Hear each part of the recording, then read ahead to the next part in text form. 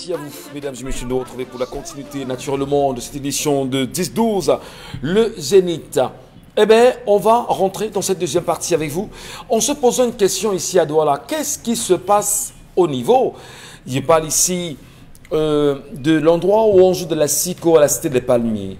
On en parle depuis des jours. Eh bien, le sentiment qui se dégage, c'est que l'autorité administrative, doit la troisième, c'est toi la troisième, Charlemagne, de la, Dans la la cinq, cinquième, autant pour moi, ne réagit pas. Comment peut-on prendre sur soi, on n'a rien contre la SICO, hein, déjà il faut, faut qu'on soit d'accord, mais comment peut-on prendre sur soi 24 heures sur 24, chaque jour, chaque nuit, de jouer de la musique dans un quartier? Et de créer un trouble incroyable au sein de la population. L'endroit s'appelle bien sûr haute tension. C'est bien sûr du côté euh, de la cité des Palmiers à Douala. Euh, on, on rappelle encore que l'autorité administrative de Douala 5e devrait tout faire au moment où nous parlons pour aller voir exactement ce qui se passe là-bas. Les populations sont aux abois quand même. Revendiquent le silence, le calme. À côté des églises qui font du bruit toutes les nuits, maintenant s'associent à ces derniers, ceux qui jouent de la musique 24 heures sur 24. On veut dire toutes les nuits de toutes les façons, de ce côté-là. Pourquoi se taire devant le cynisme de ceux-là Mais pourquoi se taire devant, on va dire, une attitude qui est pernicieuse pour les populations? Jouons de la psycho, d'accord, comme ce serait le bentikin ou toute autre musique locale, mais il y a des jours de la semaine appropriés. 24 sur 24, de lundi à vendredi, à, à lundi, c'est c'est compliqué, vraiment. On espère, on va, dans et les jours y a une loi qui interdit qui, justement. oui, qui, qui régule les nuisances sonores, les nuisances olfactives également. Ouais. Je crois que c'est l'article 60 de la loi de 1996, quelque chose comme ça, je vais vérifier, mais il y a une loi qui réglemente ça. Donc si l'autorité administrative ne se prononce pas, franchement, il y a des questions à se poser sur lui. Il devra appliquer- faire appliquer la L'agent loi. tort le fait. Merci beaucoup. Allez, on le rappelait en début d'émission, nous sommes le 15 mars 2022 et on va rappeler qu'il y a 56 ans, bien sûr, le 15 mars 1966, le dirigeant de la lutte de la libération nationale camerounaise, Castor Sendafana, était assassiné par l'armée française. Moment d'histoire, bon, Bengan.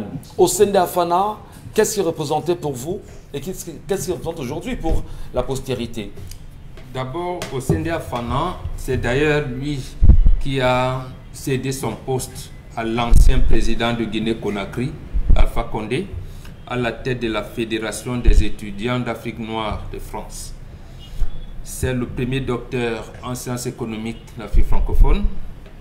Il a soutenu sa thèse de doctorat sur le titre L'économie ouest-africaine ce qu'il appelle l'Ouest africain parlait du golfe de Guinée. Ce n'était pas dans l'Afrique euh, équatoriale française, l'Afrique occidentale euh, française, non. Lui, c'était, là, il parlait principalement de l'Afrique noire. Au CNDA Fana, c'est l'un des leaders estudiantins, non seulement camerounais, mais africains, qui était, j'allais dire, qui avait refusé de penser à lui, qui avait pensé d'abord au Cameroun, et qui faisait partie de cette délégation qui a accompagné Félix Roland Moumier du 13 février au 4 mars 1959 à l'Assemblée générale des Nations Unies consacrée au Cameroun et Assemblée générale au cours de laquelle M. Francisco Morizet a refusé à euh, Félix Roland Moumier de rencontrer son frère Aïdjo. Et Moumier, devant Osende Afana, Moumier dit ce jour-là à M. Francisco Morizet, Francisco laissez-moi rencontrer mon frère Aïdjo. Je sais que vous avez décidé de lui donner le pays, mais vous risquez de créer un antécédent que vous ne pourrez plus jamais résoudre le problème anglophone. Effectivement, je, euh, Afana Castor, il a continué cette lutte-là jusqu'à. Il est mort, trahi par l'un des siens. Je ne dirai pas le nom ici, parce que ça a déjà porté des polémiques, Ouais. mais par le peloton conduit par Bouba Kayele à Molundu, parce qu'Aïdjo avait demandé qu'on lui serve le- la tête de Osende Afana sur un plateau d'argent. On le lui a emmené par hélicoptère Voilà. avec Bouba Kayele. On va dire Donc, justement que si on s'en tient au propos de Germaine Aïdjo, de regretter mémoire aujourd'hui, elle aussi, elle le disait dans ses interviews, quand je ne saurais dire qu'Aïdjo était un homme sain, oui, il a fait des choses incroyables. Castor au sein d'Afanaïmon à 36 ans. Et dans ces 36 ans, justement, il a été abattu par, va-t-on dire, ceux-là qui dirigeaient le Cameroun à cette époque, mais surtout l'armée française, encore la France, toujours la France. Quand va-t-elle payer de tout ce qu'elle a posé dans le monde comme crime? Doit-on se taire justement des actions de la France sur le continent africain Madame, Messieurs, on en parle. Allez, on va reprendre rapidement nos téléspectateurs Isabelle Carozopet. Je vous prie de nous lire l'ensemble des commentaires, des messages que le public nous envoie ce matin. D'accord. Il faut dire que j'ai retrouvé, c'est l'article 60 alinéa 1, 2, 3 de la loi du 5 août 1996. Ah, merci bien, madame. Voilà. Un peu plus concernant les nuisances sonores. Les nuisances sonores et olfactives. Ouais. Les odeurs. Donc ce qui se passe en ce moment à haute tension devrait être géré parce qu'on dit lorsque, Il y a une loi quand même qui lorsque l'urgence le justifie, les communes doivent prendre toutes les mesures exécutoires destinées d'office à faire cesser le trouble et en cas de nécessité, elles peuvent requérir le concours de la force publique. Donc, au niveau de euh, la cité des palmiers, haute tension, les populations doivent se rapprocher de la mairie, rappeler cela au maire, rappeler ce que fait en leur présentant justement ces dispositions légales qui l'interdisent. Article 60 de la loi du 5 août 1996, alinéa 1, 2, 3. Merci bien. Message Isabelle Carole Zoupet. Voilà, c'est animal et ridicule ce que disent certains panélistes. Moi j'ai 30 ans, je n'ai jamais eu de relation sexuelle. Le sexe ne procure pas le bonheur, ce sont les immatures qui pensent que ça procure le bonheur. C'est indigne tout ça. Ne chosifiez plus la femme, la mère de l'humanité. Et j'encourage les femmes à se montrer résistantes à l'égard des hommes. Vous n'êtes pas des objets sexuels, mesdames. Euh... Bon. Il y a on n'a pas dit bonheur. Non, non, non, on a dit plaisir. Laissez finir le message, non, Elle a fini. Elle a fini. On a dit plaisir. Non, finissez d'abord Isabelle Carole. Finissez d'abord. le nom. Je ne vois pas ce que vous parlez. En, vous dites en encourageant la perversité et les antivaleurs. Vous ne savez pas. C'est le deuxième message Non, c'est la suite. Vous ne savez pas ce que le sexe euh, fait partie de l'antéchrist qui est en train de détruire. Euh, Vraiment, cette personne est malade. Cette personne est malade. Non, non, non, c'est un point de vue qu'on de la déformer, la dévoyer la pensée. On ne permet pas de dévoyer. C'est pas la contradiction, la dévoyer. On n'a jamais dit que le sexe procure le bonheur. On a dit le sexe donne le plaisir. Le plaisir, c'est pas le bonheur. Mais elle dit qu'elle a 30 ans et elle n'a jamais fait le sexe. Voilà. Mais elle ne connaît rien. Elle est malade, elle a un problème, il faut qu'elle se soigne. Donc vous pensez qu'elle est dans le noir Même l'enfant d'un jour, garçon, l'enfant mal d'un jour, lorsque vous le lavez en touchant ses zones érogènes, il se met en érection. Vous parlez de quoi? Ça s'apprend. Ça Bien de deux, ça vous apprend à encadrer vos jeunes garçons. Lorsque le garçon, jusqu'à 7, 8 ans, il a les oreillons, sachez que il peut être infertile, infertile demain. Vous allez donc prouver comment. Il faut regarder ses urines. Quand il urine, c'est comment? C'est une éducation, ma fille. On a tout compris. Voilà, à l'église, on n'apprend pas ça. Quand, elle est pour l'antéchrist, on va vous le sang de Le sang de Jésus ne remontera pas ça. Mais il faut rappeler simplement que les garçons, les filles, les, je, passe au contrôle des femmes sur le plateau. Lorsque vous avez un garçon, vous l'allaitez, votre bébé, garçon, et, et, et pendant qu'il est en train de tirer le lait du sein, il se tire les cheveux. C'est le moment pour le garçon c'est ce moment de plaisir sexuellement avec euh, son alter ego qui est sa maman, qui est la femme en réalité. Vous le savez peut-être. Et il ne faut jamais trop téter le bébé du côté droit. C'est le côté gauche. Voilà, merci beaucoup. Des messages Isabelle Carlos. Approchez-vous des messages.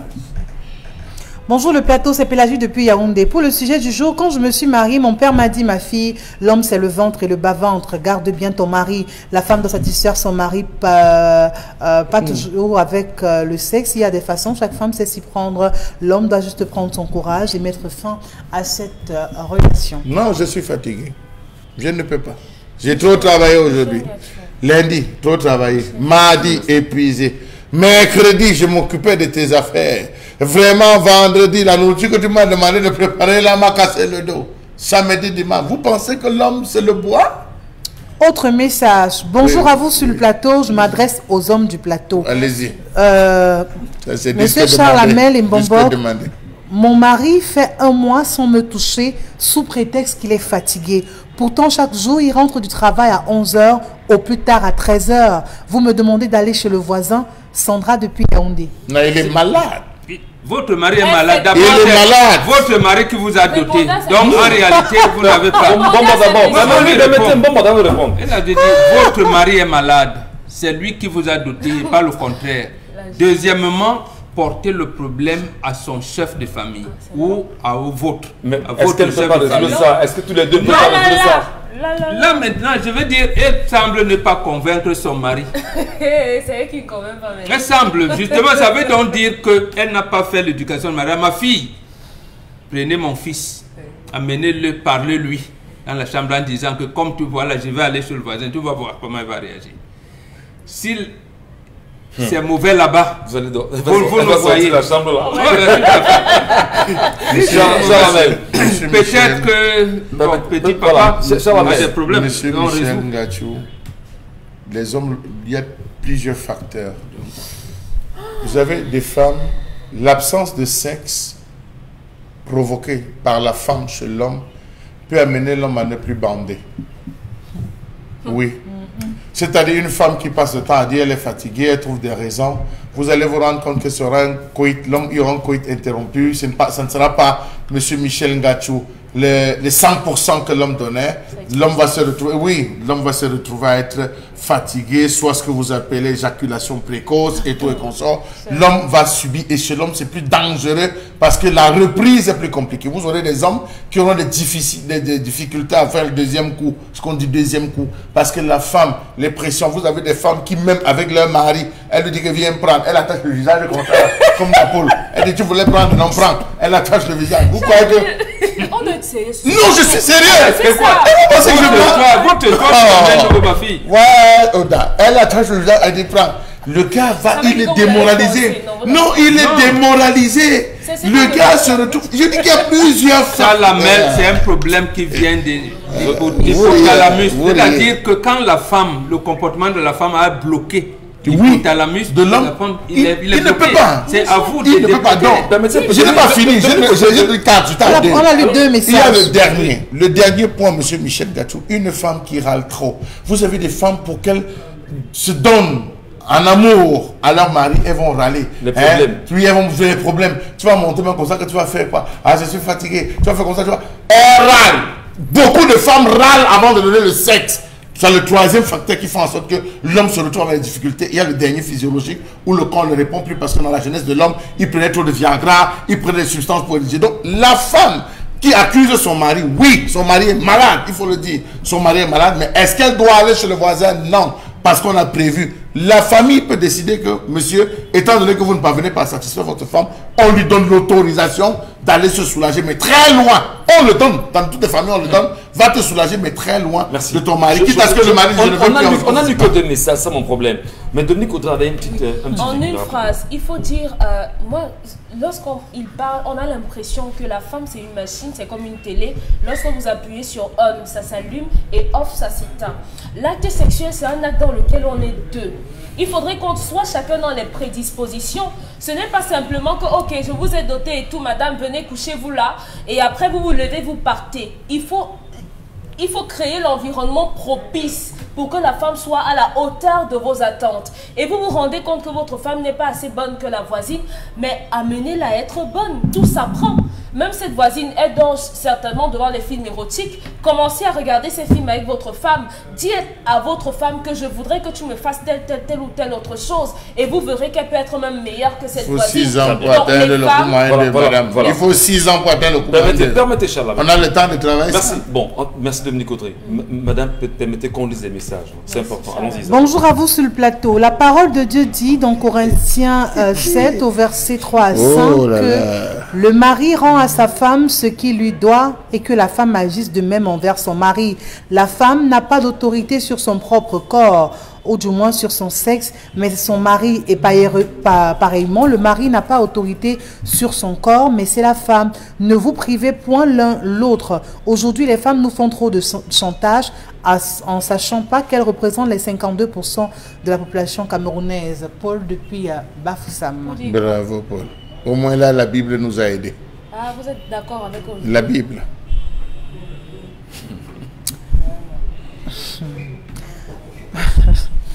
Maman, Lisez, lisez le message. Nous vous suivons. Mon mari. J'ai déjà suivi l'entête. Mon mari. Non, mais Ngatou, nous, pas- ce n'est plus nous qui avons perturbé. Non, mais elle ne peut pas avoir l'émotion. Elle riselle. Elle doit tout On doit rire, on doit rire Vous ne pouvez pas C'est avoir le pour ça que message. j'entends la phrase. Oh, le message, vous riez seul. Les téléspectateurs veulent rire avec vous. je vais traverser ce message. Non, non, il faut, il faut le lire, Isabelle. Pourquoi vous riez seul Les téléspectateurs veulent lire. Ils veulent Ils savoir ce qu'on dit. Dites-nous, il s'agit de quoi Non, c'est pas correct. Autre message. Ben, Elle en pleure même d'ailleurs. Qu'on en pleure, mais nous, on n'en sait rien. Peut-être un offre. Allons-y. Bon, Dominique Audrey va vous aider. Donnez-moi je vais Do- Dominique Audrey va vous aider. Non, non, non, Dominique Audrey est violent. Très. Non, Dominique Audrey va vous aider, Isabelle. Dominique Audrey, non, non, Vous vous lisez pas, On attend jusqu'à Noël. Bon, riez d'abord.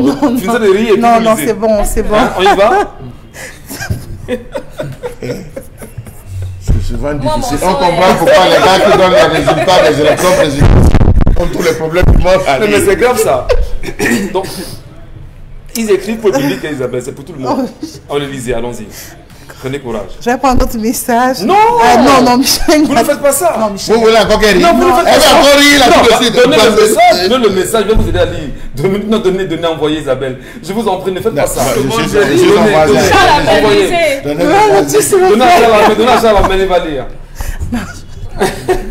Ah, Vous voyez, c'est c'est- c'est- c'est- c'est- c'est fort ça, Isabelle. Hum, On va prendre notre message. ça La va- dictature ça va arriver femmes. à Mais c'est grave, c'est grave. Euh, autre message. euh, mon mari a 48 ans et moi 33 ans. Ça fait un mois. Il fait un mois sans me toucher sous prétexte qu'il travaille euh, beaucoup. Je ne sais plus comment faire. Pourtant, dans son téléphone, il est toujours avec et il écrit aux autres femmes avec qui il passe de bons Tu as un moments. J'ai Il faut travailler. Elle a dit qu'elle est mariée depuis deux ans. C'est une histoire inbox. Elle est mariée depuis deux ans et elle n'a même pas fait huit fois. Elle n'a pas partagé son, intimité. Elle a une coépouse. Oui, Elle a coépouse. Elle a une- en ma- deux ans de mariage. Ma fille, tu as une Elle a un coépouse. Et c'est à toi de te battre. Non, Michel, il y a toujours aussi vous êtes mort de rire quand on dit certaines choses alors. Non, vous comprenez mieux mon émotion. Elle, elle a un coépouse. Tu as une coépouse. Elle dit qu'elle a deux Parce ans que de justement, mariage. ce que Dominique Elle a eu huit rencontres avec son mari. mais c'est Elle a pas on entre dans le mariage. Ça, même vous a dit le C'est mal est comme on- profond. on vous- moi, je n'ai pas fait les équations de premier, deuxième degré, mais j'entends ça. C'est-à-dire, si je ne peux pas en parler, on vous prépare à aller en sixième, en cinquième, ainsi de suite, ainsi de suite. Quand vous dites que vous allez dans le mariage, vous n'êtes plus dans. Vous n'êtes plus dans jeu. Qu'est-ce que maman ou grand-mère vous a dit? Le mari, votre mari, attendez-le dedans. D'accord. Ne lui refusez pas, il y a- même s'il t'a il y a tapé une plus réalité- tôt qu'on disait. Ne lui refusez pas la réalité que nourriture, ne lui refusez pas le Il- non, y a une réalité que- plaintes permanentes, Il y a Charles. une réalité que je veux partager concernant ce mariage. Vous avez des hommes qui sont homosexuels. Il faut le dire. Voilà, tout à fait. Parce que les familles, c'est très important, Oui, il y a les Parce hommes que les homosexuels familles aujourd'hui. créent la pression. Du mariage. On veut de la pression du mariage et le regard, il prend femme. Il se marie, mais ce que la femme vit à l'intérieur, C'est grave. vraiment si grave? Je vous assure que depuis pratiquement trois mois, chaque jour, les femmes défilent ici pour se plaindre.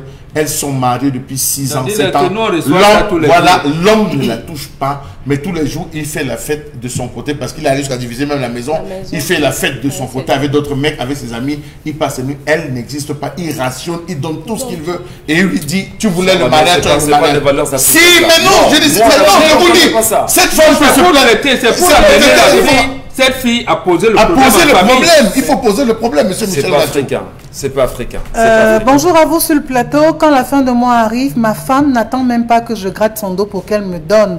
Mais après, bam. Ah, c'est la fin de bon. Elle donne nos souffrances.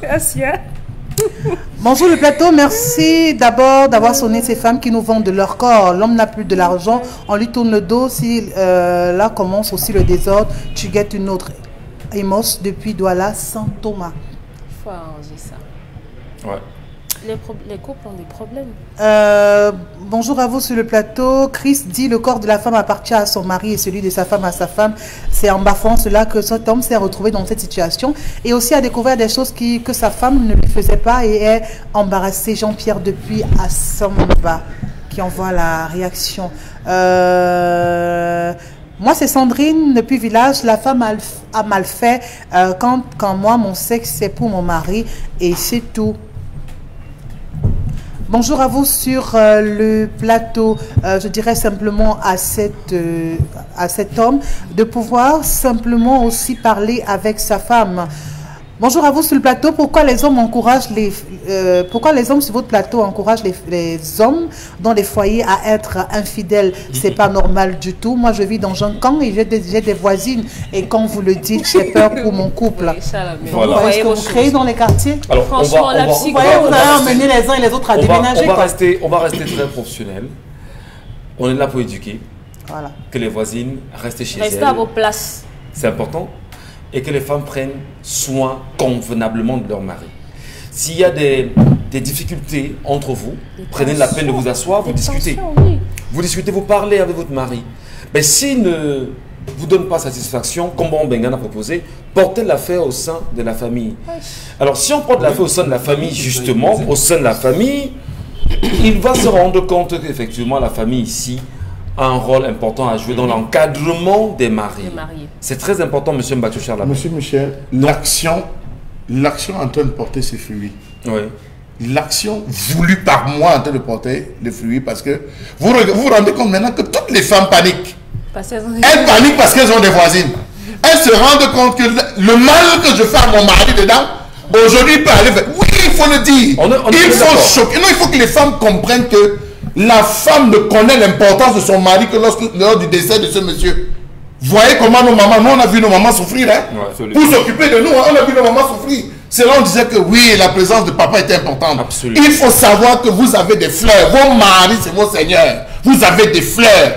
Chaque femme doit appeler son mari mon seigneur Comme le faisait Sarah. et l'entretenir, s'occuper de lui pour ne pas permettre à son homme de regarder les voisines mais de marcher droit lorsqu'ils mais- dans la mais non, maison. mais non, mais non, Il y a mais- des quartiers, mais- attendez, il y a des quartiers où l'homme sort droit, l'homme ne regarde pas à gauche.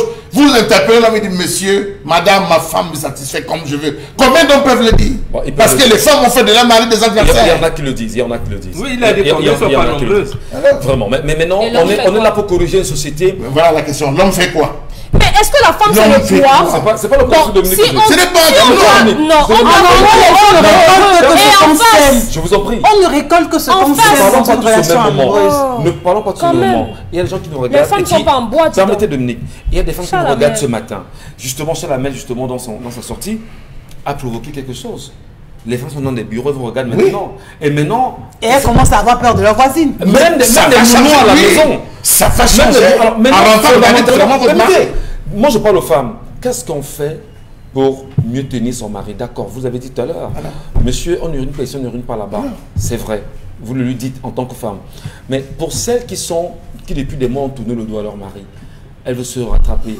Qu'est-ce qu'elles font? Qu'est-ce qu'elles doivent faire dès ce soir, Isabelle Carole? Ce soir, Permettez Chalamel renouer le Déjà, dialogue. la femme parlait. Permettez. Isabelle femmes- Carole. Trop de Non, je crois que ce que l'homme doit faire. parce que c'est- Mais on a demandé que la femme Chalamel doit faire. Chalamel Je Chalamel reprécise. Chalamel Je reprécise. Chalamel La question est posée à la femme. Qu'est-ce que la femme doit faire? Les femmes peuvent corriger. Elles parlent aux femmes qui doivent corriger et se repositionner.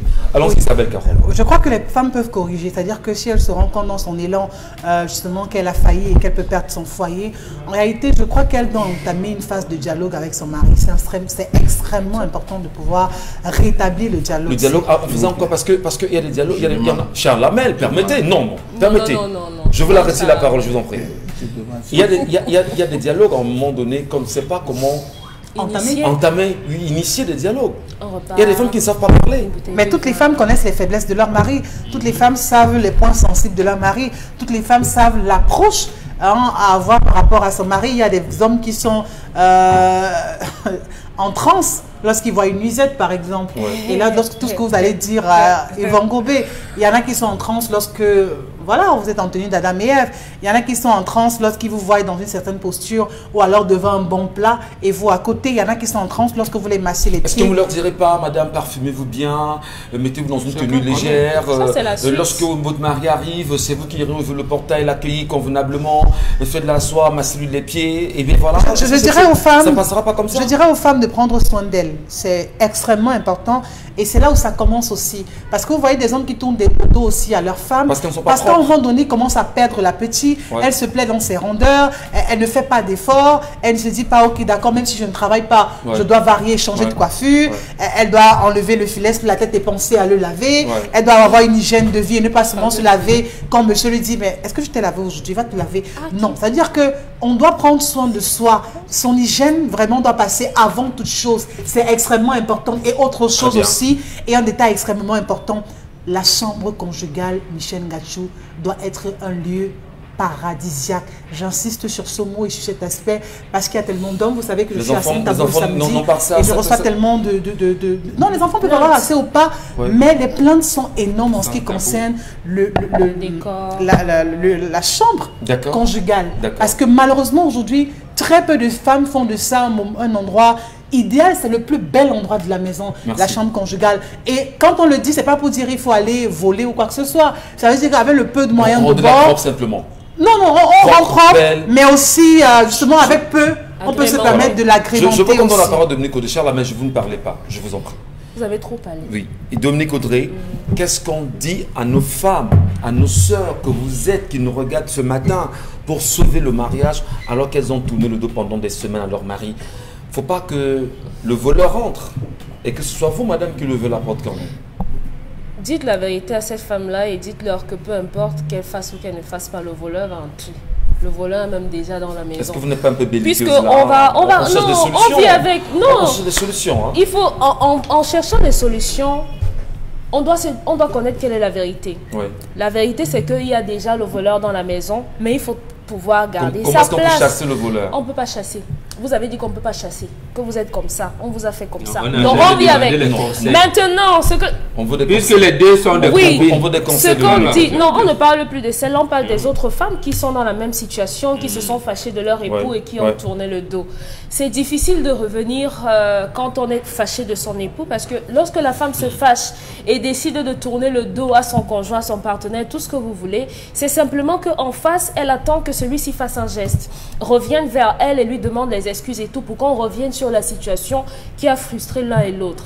Puisqu'il ne viendra pas et puisque malheureusement dans notre contrée, euh, notre civilisation voudrait que ce soit toujours la femme qui s'arc-boute, qui se couvre, il va donc falloir, mesdames, faire le premier pas et tellement votre... Mais attends, on fait le premier pas avec orgueil. Non, non, Parce que, pourquoi parce, que, parce que ne parlez On pas comme si. dessus. Ne parlez pas quand on a l'impression que ben voilà, on est trop fier de soi, on est trop. Non. Oui, on, on peut être Vous fier, d'accord, mais est-ce qu'il n'y a pas C'est lieu ici de dire. naturel qui vous donne cette Oui, est-ce qu'on impression. pourrait dire ici justement à la dame Québec. ah, enfin, madame, comme j'ai très bien dit tout à l'heure, coiffez-vous, Vous pensez que- parfumez-vous, Écoutez, faites le il y a plat des qui hommes- pas. Michel Gachou, euh, trouvez le moyen. L'expérience, l'expérience, la petite que j'ai m'a appris qu'il y a des hommes à qui, malgré votre coiffure, votre parfum, votre beau dîner tout ce que vous faites là, il va rentrer, il va passer, il ne vous dira absolument rien. Ouais.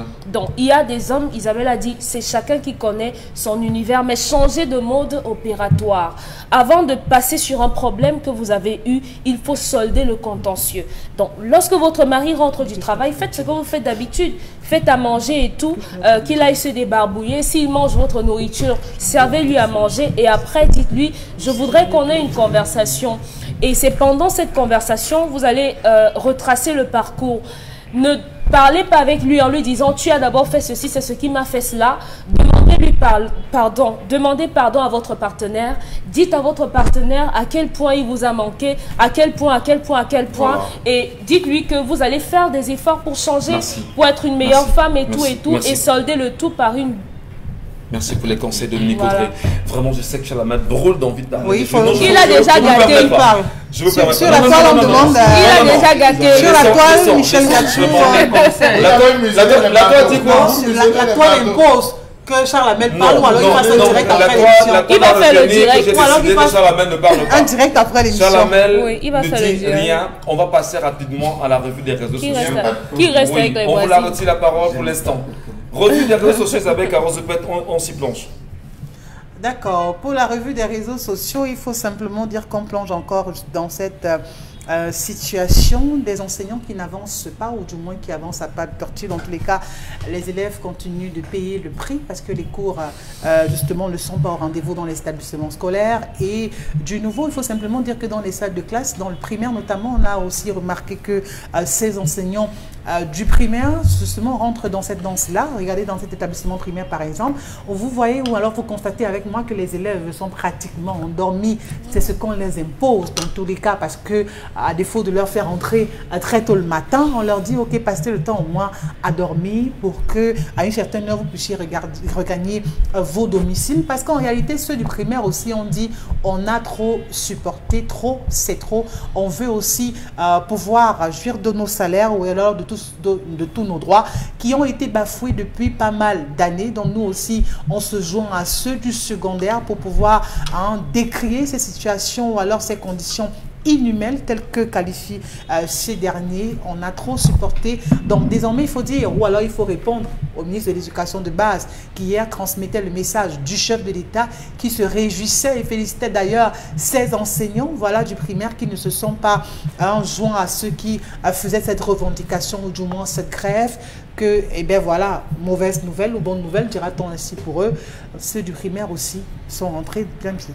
Je voudrais rappeler bien sûr qu'il y a tellement de plaintes autour du ministère de l'Éducation de base, même autour du ministre, euh, le professeur euh, lui-même, avec son chauffeur qui, dit-on, est devenu l'homme à tout décider au sein du ministère de l'Éducation de base, qui son chauffeur d'ailleurs même serait impliqué, même dans les nominations au niveau du ministère de l'Éducation de base, des informations tirées à bonne source qui laissent croire bien évidemment que la personne du chauffeur, le rôle que joue le chauffeur du ministre ici est un rôle incroyable. Et eh bien, des informations incroyables nous sont parvenues. Ben, je me demande si véritablement on parvenait à les mettre sur la place publique. Que dirait donc ce Paul Biya qu'il a évoqué la dernière fois de son ministre lui-même et tout ce qu'il a euh, fait autour de ce ministère. Beaucoup sont allés jusqu'à dire que c'était encore mieux de fonctionner avec Adidje Alim, Bonbon Bengan, euh, qui d'ailleurs, les, les, instituteurs se plaignaient déjà sous Adidje Alim. Ils estiment, aujourd'hui qu'avec Etou Ningwa, le pire est arrivé, ce qu'on n'attendait pas. Justement, parce que vous avez, euh, les médecins ont ça aussi, dans, avec le ministère de la Santé publique. Ils disent que chaque fois qu'il y a un médecin à la tête de ce ministère, ça va mal. Donc, il semble être la même chose avec les départements ministériels à charge de l'éducation. Mm. C'est-à-dire, tous pratiquement, les trois sont des enseignants, mais ça va mal. Pourquoi ça va mal? C'est la question qu'on se pose, on ne comprend pas. Donc, monsieur le professeur Etundengwa, d'abord, lui, il est chef département physiologie à l'université de Yaoundé 1. Hein. Donc, je ne sais pas comment il encadre les étudiants là-bas en doctorat et tout ça, mais il est encore ministre. Donc, il est tout à fait logique qu'il puisse flancher, qu'il ne puisse pas, j'allais dire, remplir convenablement sa mission. L'autre chose, est-ce que le chef de l'État lui a vraiment dit Il lui a demandé donner des félicitations?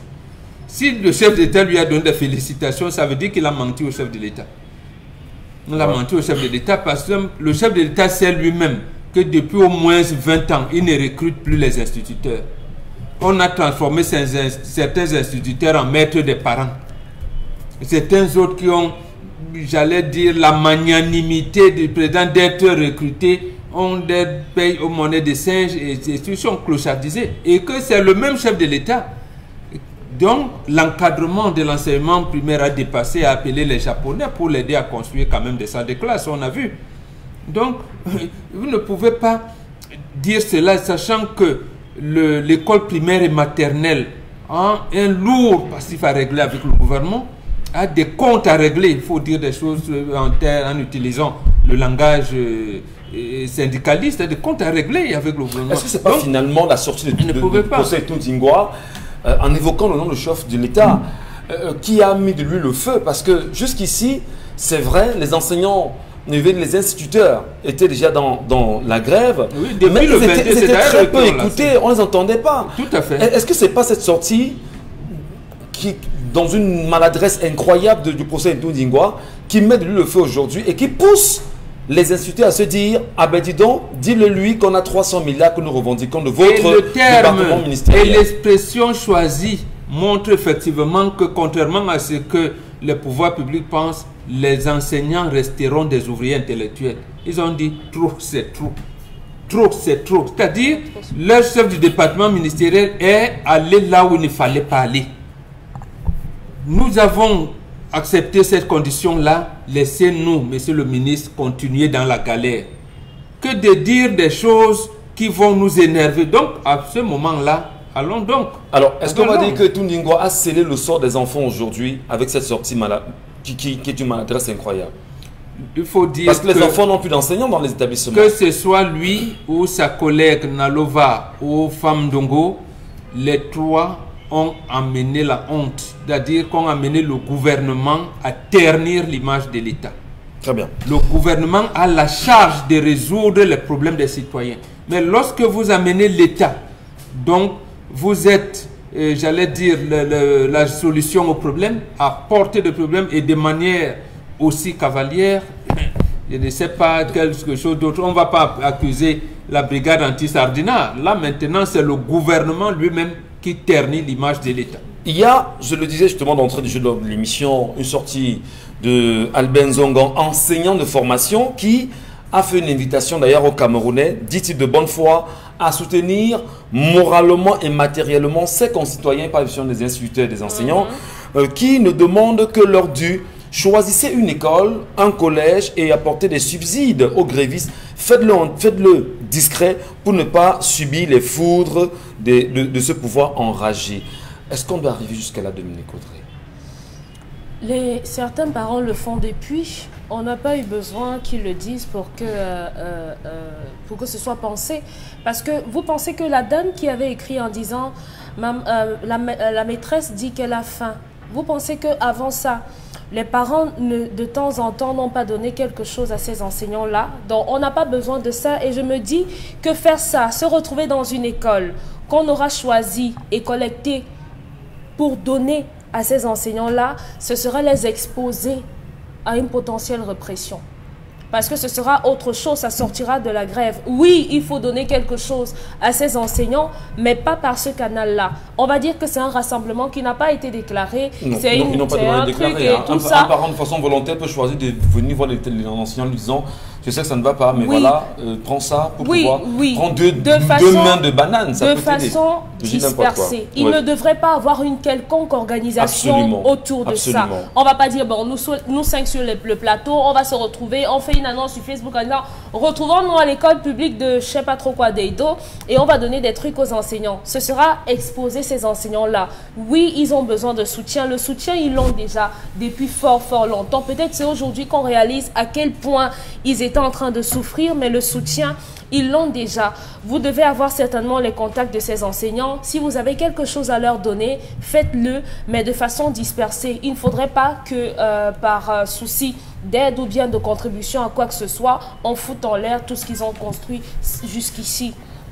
Et bien là, euh, cher Lamel, peut-être vrai que dans tout ce qui se passe, est-ce qu'on n'a pas une crainte que l'évocation du favoritisme, du tribalisme, du népotisme rentre dans cette histoire Est-ce qu'on ne risquerait pas de détourner l'attention de ces instituteurs sur autre chose? Est-ce que le gouvernement peut encore le faire au moment où nous parlons Les corps sont déjà en train de se préparer. Vous vous serez surpris que dans les mois à venir, c'est tous les corps qui vont se lever en disant trop c'est trop. On a déjà créé un nouveau groupe, on a trop mangé. OTM, le groupe OTM, on a trop mangé. On a assis depuis 40 ans, on mange depuis 37 ans, depuis 39 ans, on est ministre en fonction depuis 22, 25, 27 ans. On a trop mangé, c'est un collectif qui est en position aujourd'hui. Nous avons en face d'un collectif de on a trop supporté, trop c'est trop, et je peux vous dire que les jours à venir vont nous réserver de grosses, grosses surprises. Est-ce que le radicalisme des enseignants peut Ce faire n'est pas, ce n'est pas une question radicalisme. de radicalisme des enseignants, Monsieur Michel Nkatiou. C'est une question de réalisme. Vous ne pouvez pas voir un enfant, lorsque l'enfant se lève le matin et dit Papa, j'ai faim. Il ne cherche pas à savoir si vous avez 25 dans la poche. Il ne cherche pas à savoir si vous êtes même, vous, vous êtes rassasié depuis deux jours si vous mangez. Il vous dit avec obligation J'ai faim. Lorsque vous ne réagissez pas, il envoie des cris J'ai faim, j'ai faim, j'ai faim, j'ai faim. Vous ne réagissez pas, il commence à crier, à pleurer. Il associe la joie, non, j'ai faim. Je te dis que j'ai faim. Lorsque ça ne va plus, il va voir sa mère lui disant, est-ce que c'est mon père? Est-ce que c'est sûr que c'est mon père? Voilà la situation. Face à la méprise du gouvernement, l'insolence du gouvernement, je tiens à le demander du gouvernement, qui ont cru qu'on va aller faire ça, et quoi va faire? Qu'est-ce qu'ils peuvent faire? On est habitué à savoir que les Camerounais, ah, c'est des poltrons, c'est des peureux, à la moindre menace. Mais on parle de 20 ans. Les gars réclament 28 20 ans. plus 7 ans. Monsieur 28. Michel Gachou, il y a des gens qui peuvent prendre les 20 ans et vous dire, ok, pour moi ça va. J'ai épargné, ça va. Vous avez des instituteurs qui sont allés à la retraite et dont ils ont des soucis de pension. Vous avez des instituteurs qui réclament. C'est 23, 23 re- revendications, monsieur Michel Gachou. Les enseignants sont à 20 et ils sont à 23. Mais alors, qu'un ministre sorte avec toute l'insolence, la suffisance et dise ceux de mon ordre qui n'ont pas manifesté, ce sont de vrais patriotes. Mais attendez, j'ai vu des enseignants se lever en disant qu'ils sont des militants, ils militent derrière le, le président de la République, ils sont prêts à endurer, ils sont prêts à souffrir, à ne pas percevoir les salaires, mais à se battre pour le Cameroun. Mais ils boivent quoi? C'est Ils c'est mangent les, quoi? c'est les vrais enseignants? Ils mangent quoi, monsieur Michel Gachou Ils boivent quoi? Non, quand je dis boire, c'est de l'eau. Quel type d'eau ils boivent? Non, nous sommes arrivés à une situation où on pousse les Camerounais, on les met dos au mur. Certains se résignent même en disant je peux encore supporter. On les pousse en leur disant messieurs, vous devez le faire. L'État qu'il veuille ou non, quelle que soit la mesure, on part du principe que on a dépensé 3 000 milliards pour la canne. On a bouffé 180 milliards, 81 milliards pour le, le Covid. On part du principe que l'ensemble des projets jeunes qui ont reçu des financements de plus de 3 000 milliards n'ont jamais été le plan triennal jeune. Les La- jeunes se la demandent, le PALPAGU, le PANEJ, le PIFMA, le PNDP, beaucoup de projets n'ont abouti à rien. Les programmes agropole sont morts. Beaucoup d'argent circule dans les poches des gens. Alors- Et aujourd'hui, on vous demande, à vous qui avez fait 20 ans de supporter Ces argents, dit-on, c'est dans des plafonds. Ces argents, Non, ce n'est pas dans des plafonds, Dans des non. maisons. Ces argents Monsieur sont Michel, des endroits. Monsieur Michel Ngachou, C'est ces argents ne sont pas dans les plafonds. Si c'est chez les plafonds, c'est pour les nouveaux. Les autres, là, on le dit à Mondo Vision, c'est dans des caveaux. Ici, là, c'est mon arrière-arrière-grand-père. Vous allez voir un fil qui entre là-bas, c'est le gros split qui refroidissent l'argent, c'est dans des caveaux. Interrogez les gars qui font froid et climatisation. Ils vont vous dire ce qu'ils font dans la maison de ces messieurs. Allez poser la question, ils vont vous dire que l'argent est refroidi, monsieur Michel Ngachou. Les banques n'ont rien. Qu'on sorte cet argent, qu'on prenne, on peut faire encore comme proposition au chef de l'État. L'opération hypervine a servi. Qu'on entre là-bas dans les prisons. On appelle les Mebengo, les Ababa, Polycarp, euh. On les appelle tous. On dit, bon voilà, on dit que vous avez volé. Nous sommes prêts à fermer les yeux. Il faut régler la question des enseignants. J'attends sur ma table 500 milliards. Lui-même, on les appelle tous, monsieur Michel Gachou. Allez fouiller, on sait, allez fouiller. Et vous, vous êtes libre. Allons le faire. Alors, on le fait très simplement. Isabelle Carole, moi j'ai un problème personnellement. Ce sont les instituteurs, ceux qui sont à la base de l'éducation de nos enfants. Alors, on a eu ceux du secondaire qui sont dans une colère depuis un mois déjà. Lorsqu'on tue nos petits-enfants, nos enfants, à qui on apprend B-A-B-A, B-O-B-O, B-I-B, quand on ne le fait pas, Isabelle, étant donné que si on s'en tient à une expression de Victor Hugo qui disait que euh, euh, euh, ça un enfant que l'on enseigne est un homme que l'on gagne. On parviendra à enseigner nos enfants on perdra on va dire un nombre incalculable de jeunes enfants du Cameroun à cause du comportement du gouvernement qui s'entête à ne pas vouloir payer leur argent convenablement quand on sait comme Camerounais qu'il y a de l'argent pour ça Je vous répondrai comme quelqu'un qui soit dans des régions en crise, notamment le nord-ouest ou le sud-ouest, et qui vous dira Ah, d'accord. Donc vous êtes conscient de ce que lorsqu'un enfant ne va pas à l'école, c'est difficile de rattraper. Parce que tenez-vous bien, depuis que cette crise, pour parler de la crise anglophone perdure, imaginez un enfant qui soit né en 2016, 2017 ou 2018, 2019 par là, qui a 3 ans, qui a 4 ans aujourd'hui, qui n'est jamais allé à l'école, Six ans. qui ne sait même pas comment on écrit ou alors on forme la lettre A. Vous pensez que cet, cet enfant demain, vous allez le rééduquer comment? Vous allez le sauver comment? Mais ça n'empêche qu'on reste toujours indifférent ou alors qu'on prenne des mesures euh, qui ne sont pas fertiles. Donc, on comprend aujourd'hui que l'État peine à prendre des mesures urgentes. Si l'école était quelque chose de précieux à leurs yeux, je crois qu'ils auraient tôt fait ou vite fait de réagir. Parce qu'en réalité, il y a ce qu'on appelle l'âge, il y a ce qu'on appelle le temps, qu'on ne peut pas rattraper. Vous avez deux ans aujourd'hui, demain vous avez dix ans, vous ne pourrez plus jamais avoir vos deux ans. Et à deux ans, vous avez des facultés à comprendre certaines choses qu'à 16 ans, vous ne serez plus prédisposé à pouvoir avoir de tels enseignements. Je crois qu'on doit être sensible à ce qui arrive. Parce que on s'obstine dans ce climat parce que ce qui arrive n'arrive qu'aux autres. C'est pour ça qu'on est là. Parce qu'en réalité, il y a un enfant d'aucun ministre qui soit dans un lycée au Cameroun. Il n'y a pas leurs enfants dans les établissements euh, aujourd'hui qui sont en train de dire, OK, d'accord, on a trop sporté et tout. Je crois que si les autres également euh, euh, étaient imprégnés, ils n'auraient pas réagi de cette façon. Très bien. Allez, autre sujet, et pas de moindre, euh, vous nous tenez cela sous les yeux, Isabelle Carole. Vous nous parlez euh, d'une maman? Une maman qui a donné naissance à cinq bébés.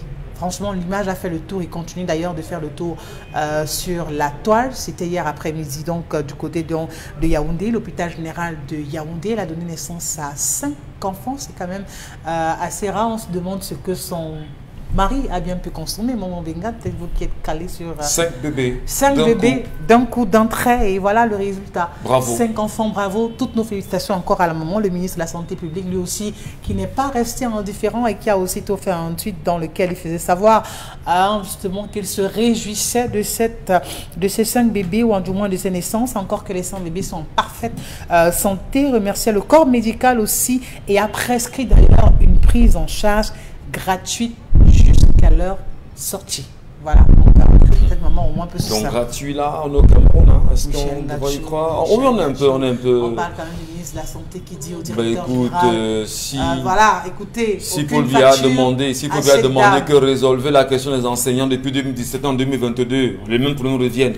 Si on n'écoute pas Paul être Biya, vous êtes sûr que c'est dans les hôpitaux Mais je qu'on crois quand même que, écoutera le personnellement, ce que je dirais, c'est qu'on a quand même un ministre de la Santé publique qui fait l'effort, je dirais ça ainsi sont mes propos, de se rapprocher des patients, ou du moins de la population, de répondre à leurs préoccupations. On le voit très actif aussi bien sur la toile que sur le terrain. Je crois qu'on devrait l'encourager dans de telles initiatives, bien que sur la toile, les gens estimaient que c'était minime de sa part, de dire simplement qu'il faut euh, ne pas donner des factures à, à- à cette famille, qu'il fallait qu'il aille un peu plus au-delà, parce que d'aucuns qualifient de ce que ce soit maigre comme action. Toujours est-il qu'il Bon, a fait. on ne sera jamais satisfait. Bon, Bengan, 5 bébés. Déjà, il faut féliciter le père au moins. D'abord le père. Hmm? Oui. Et la mère, vous la mettez où? D'abord le, D'abord. cinq le enfants. père. Oui, C'est c'est 5 enfants. d'un coup. On porte cinq enfants. Bah, d'abord le père. C'est le père Ah. qui permet bien évidemment que la mère soit to- tombe enceinte, non? Le Voilà. père a mis la sémence et il a entretenu la femme qui portait le fruit. Sur une terre fertile. Une très belle Voilà, terre Tout à d'ailleurs. fait. C'est pour ça qu'on on c'est- pour ça qu'on vous épouse pour apporter une terre fertile et c'est pour ça qu'on fait l'ongambi pour que la terre fertile là et on s'est entretenu cette terre, on fertilise cette terre. C'est pour ça qu'on est jaloux de cette terre qui ne doit pas fermer le cuisse. Donc, non, ici l'acte du ministre de la santé publique, non, on ne peut pas cracher dessus, elle est louable parce que même à notre époque, les jumeaux, les triplets, parce qu'on faisait la promotion de la famille et l'État apportait un soutien au regard des moyens qu'il disposait. D'abord, votre prise en charge au niveau de la maternité était gratuite et il y avait un suivi conséquemment parce qu'il y a ce que les femmes ont souvent les suites de la grossesse. Donc, même jusqu'à 3 mois, 4 mois, elle peut avoir euh, Des chocs quoi. des, des chocs jusqu'à 6 mois même. Donc, on doit suivre On la veille- femme on veille en permanence. Jusqu'à 6 mois pour Ouais. qu'il n'y ait pas de problèmes suite à cette grossesse parce que le métabolisme du corps a subi un certain nombre d'égagements. Mais si le ministre va jusque-là, c'est- ce serait bon- une très bonne chose. Maintenant, l'encadrement de ces cinq enfants, également, bon, là, incombe à la famille, mais l'État doit, parce que nous, on avait ça, il y avait des maisons d'accueil, il y avait des maisons d'encadrement de famille. Aujourd'hui, à l'époque, il n'y avait même pas de ministère de la promotion de la femme et de la famille. Mais ça se faisait relativement bien. Précisément parce que Aïdjo avait dit à la France, laissez-moi faire, si ça me dépasse, je vous appelle. Donc il y avait une certaine dynamique sociale. L'enfant n'était pas l'enfant de ce couple. L'enfant, c'est l'enfant de la communauté. Mais aujourd'hui, cette femme, quand elle ira acheter ou écraser les condiments, on va vous allez entendre qu'on a violé l'enfant. Nous, on ne connaissait pas ces choses-là. Mhm. Et après, vous nous dites que la société évolue. Bon, donc ici, il faut apprécier l'acte de Manaouda, de mon point de vue, mais aller plus loin voudrait dire que la femme, le suivi de la femme jusqu'à au moins six mois, et même important. une dotation spéciale pour le lait des enfants, l'allaitement de ces enfants jusqu'à au moins six mois. Dominique Audrey, on- qu'est-ce qu'on dit? On félicite dans ce monde, on félicite aussi la mère. C'est neuf mois avec cinq bébés. D'un coup, c'est un, c'est une reine en même temps cette maman-là. Bien sûr. Comme bon nombre de femmes, comme, comme toutes les femmes d'ailleurs. Ben, l'acte du ministre, Une équipe de c'est bien. Mais est-ce qu'on ne peut pas au final dire que l'État devrait prendre en charge cette famille même? Si vous demandez qu'on prenne en charge cette famille, ça veut dire qu'on va prendre en charge toutes les familles qui ont donné naissance à des enfants gémellaires. C'est pas tous les jours. Hein. Non, pas non, tous les ça, jours. Veut pas- dire ça, plutôt, si vous permettez. cas particulier. Non, hein. ça veut dire qu'en 2004, il faut se rappeler de cela. Le gouvernement avait pris l'engagement de passer de la prévoyance à la sécurité sociale. Donc le ministre Grégoire Ona devrait nous dire, en principe, là, lorsque son collègue de la santé publique ait procédé à ces commodités-là, il devrait prendre le relais et nous dire aujourd'hui où en est-on avec la sécurité sociale. Merci, Parce que c'est c'est ça qui était donc envisagé à ce moment-là. Espérons qu'il vous regarde ce matin. Oui, je- Ce n'est Do- pas, Dominique. ce n'est pas la première fois qu'on assiste à ça et je, je- pour moi, on ne devrait pas faire de favoritisme. Si on le fait pour elle, on devrait le faire pour toutes les personnes qui ont donné naissance au même nombre d'enfants.